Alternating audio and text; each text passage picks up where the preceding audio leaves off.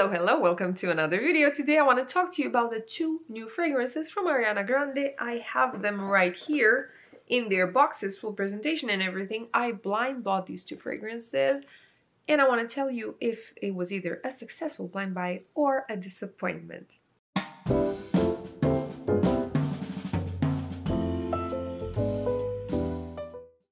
Will start by referring to the packaging. I mean, the boxes are boxes. There's nothing special here. There's nothing, they, they look pretty normal. But let's talk about these bottles. First of all, I have to tell you that they do look better in pictures. The pictures I saw online, they look better. So what disappointed me? First of all, it's this cheap type of plastic. Okay, this is glass. I mean, this, like this part where the fragrance is. Okay, this is glass. But the rest is a cheap plastic. Okay. Expected, I guess. I mean, the price is not that high, so okay. There is also another element that is a little bit disturbing for me. So I'm talking like it's it's a personal opinion. Everything is a personal opinion here, obviously. But this might not bother most of you. Okay, so my OCD gets a little bit triggered by this, by the fact that these lines, you see like these lines here, they don't really come together as you would expect them to. I don't know. It just, they seem a little bit off. Maybe that's the idea of it. Most likely, that's the idea of it. But I just, it doesn't like, it doesn't please me from an aesthetical point of view, okay?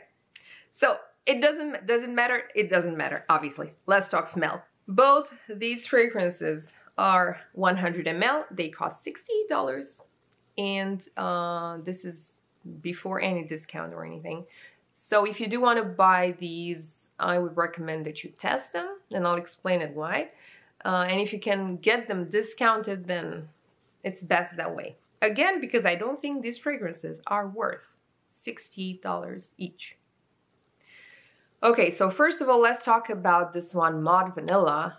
This is the one I had the highest expectations from because it's a vanilla fragrance and I do love vanilla in fragrances and vanilla based fragrances, obviously. So this opens with musk, then it has plum and freesia, and in the middle we have orris root and pralines, yes, and then vanilla and coconut. I think it's quite true to the notes, I would say, and people think it's very similar to Cloud and Cloud Intense. So I will say yes, okay, I get it why people think there are similarities and there are similarities, but not to the point where there are there are flankers because some people think, oh, they must be basically the same fragrance.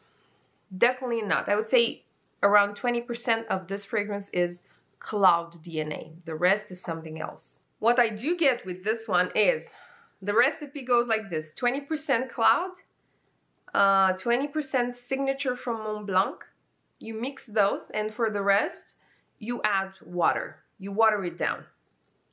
This is this fragrance. This is it. It's so weak or if you want to stay positive it's so airy that it only lasted on me for about three hours maybe not even three hours. It's weak compared to cloud. I mean cloud is like if you have cloud you don't need this because you will get the idea of cloud when you wear it, but you will only get it for a very little time. So why get it? Seriously, you can get cloud for less. I don't see the point of this fragrance, honestly. It's not a bad fragrance as in like, oh, I want to throw up when I smell it. It's definitely not that. But it's not original. Um, it's not long lasting. It doesn't come in a killer packaging, bottle, whatever. It's still expensive. I don't see why you want to, like, in case you're collecting her fragrances or you're a fan, okay, I get it. I have all the other fragrances from Ariana Grande, so okay, fine. I guess it makes sense to have this one too. But other than that, no. Now let's talk about Mod Blush. This opens with pink pepper, raspberry, passion fruit, bergamot. Uh, then we have rose, magnolia, pear, uh, dreamwood, sandalwood, musk, and ambroxan in the dry down, in the base notes. Okay, this to me smells like the inside of Victoria's Secret. it smells like a cheap, I will say cheap again, okay. It smells like a generic rose fragrance, like rose musk fragrance with some like berries in there, with some fruits. And you know, there is that fragrance, like it smells like a body mist. It smells like teenagers. It smells like the inside of Victoria's Secret. Again, like this is the mental image I'm getting when I'm smelling this one. The good thing about this one is that it's stronger, a better performer compared to Mod Vanilla. Yes, this one lasts actually.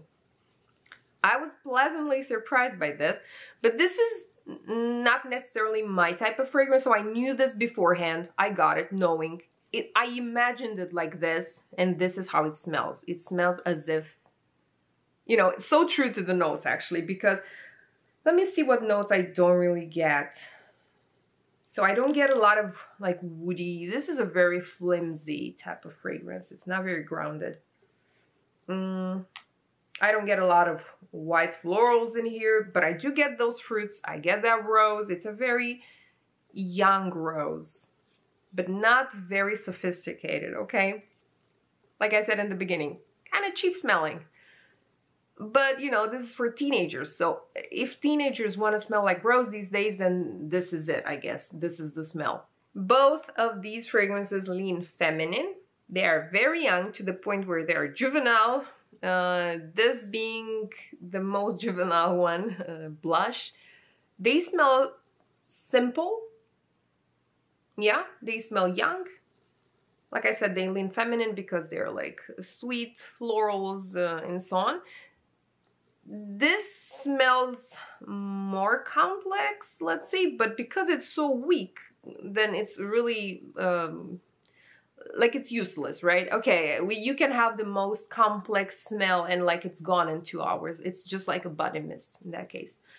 So I don't think they're necessarily safe to blind buy. I don't think they're they should be your priority when it comes to buying new fragrances because you can find better rose fragrances out there for the same price or even cheaper, maybe, maybe not. And with this one, seriously, Mod Vanilla can be replaced by Cloud any day. If you have Cloud, you have enough. You don't need this one. I hope my video was not overly negative, although I think it was. But overall, these two fragrances don't stink, okay? they don't stink. But at this point, I think um, I became a little bit pickier about my fragrances. So, you know, as time goes by, I get older, pickier, and obviously wiser. Thank you for watching me. If you smell these fragrances, obviously let me know what you think about them. And if you don't agree with me, I honestly don't mind. I appreciate all sorts of comments and opinions. So yeah, thank you for watching and I'll see you next week with another video. Bye-bye.